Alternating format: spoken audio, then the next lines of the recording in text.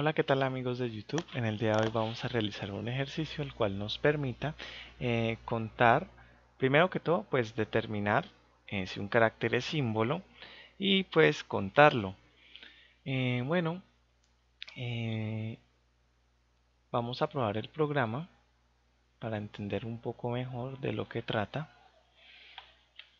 Lo menos si le escribo este símbolo, él lo va a contar, lo detecta y lo, y lo cuenta si le ingreso este también lo detecta y lo cuenta y así sucesivamente.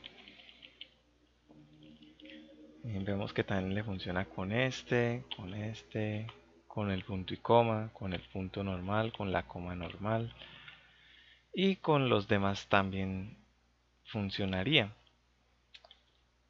Eh, bueno eh, vamos a ver lo que sería ya el código. Pues como pueden ver en mis anteriores tutoriales yo el código lo he venido introduciendo aquí en esta caja de texto. Entonces le va a hundir le va a dar doble clic a la caja de texto para que podamos ver el código.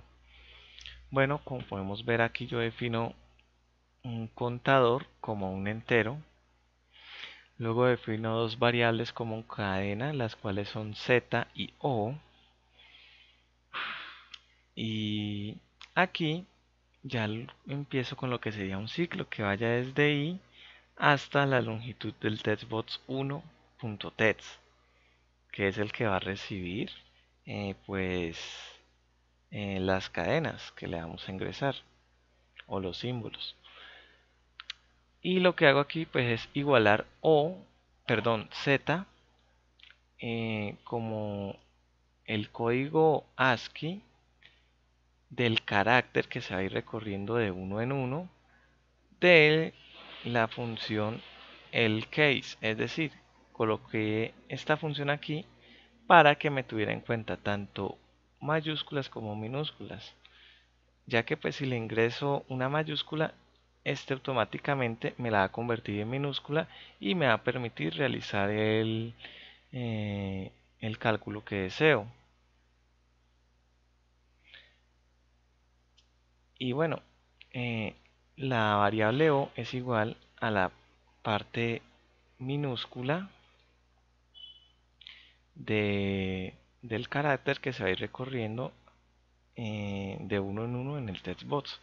Eh, más adelante les explicaré por qué separé estas dos variables. Y bueno aquí esta función es, eh, es una negación, es decir, si no se cumple esto que está aquí adentro, eh, pues se va a ejecutar dicha acción aquí, dicha instrucción, perdón.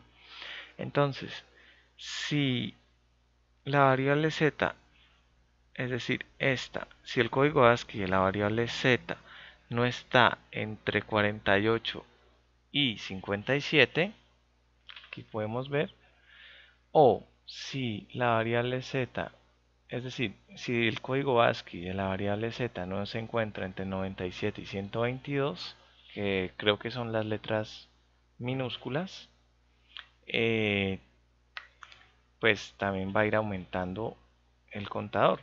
O si la variable o, aquí ya viene la diferencia, aquí ya utilizo la variable o, y la utilicé porque aquí ya no estoy haciendo el cálculo en base al código ASCII, sino en base a, este carácter, que en este caso sería un espacio. Entonces, es decir, si no es un espacio o si no es la letra ñ, si no es la letra ñ, pues que aumente el contador de símbolos a razón de 1. Eh, y bueno, ya aquí ya coloco end if para finalizar eh, la condición. Y aquí ya coloco nets para finalizar lo que vendría siendo el ciclo. Y coloco label 5.text es igual a con sí que sería contador de símbolos eh, abreviadamente. Eh, bueno pues eso fue todo compañeros de youtube en el día de hoy. Espero que les haya gustado el video. No olviden no olviden dar like al video, comentar y suscribirse.